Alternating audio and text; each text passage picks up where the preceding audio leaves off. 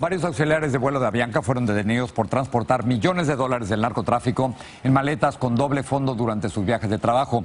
Los arrestos se hicieron en un gran operativo internacional para desmantelar una enorme red de lavado de dinero que operaba entre América y Europa.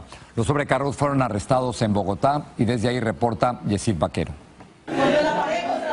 Este es el momento en el que la Policía de Colombia, en una operación conjunta con la Fiscalía y autoridades mexicanas, españolas y de Estados Unidos, capturan a una de las azafatas que integraba una gigantesca red de lavadores de dinero. Por los delitos de lavado de activos, enriquecimiento ilícito, particulares. Las auxiliares de vuelo eran las fichas claves de una organización que trajo a Colombia más de 7 millones de dólares, según las investigaciones, procedentes de las actividades ilícitas de carteles mexicanos y colombianos. En coordinación también con el gobierno de España y con el gobierno de México logramos obtener alguna información de los nexos de alguna de estas personas con el cartel de Sinaloa. Las azafatas ganaban el 5% de comisión en cada operación y tienen nexos con el clan Úsuga de Colombia y los tentáculos de la red de Joaquín El Chapo Guzmán en México y aprovechaban su trabajo en la aerolínea para poder ingresar el dinero. El dinero era ingresado a través de las maletas de doble fondo o incluso dinero adherido al cuerpo. Aunque en la operación fueron incautados 7 millones de dólares, las autoridades calculan que la red de blanqueo que alcanzó a llegar incluso a España movió al menos 250 millones de dólares en un año.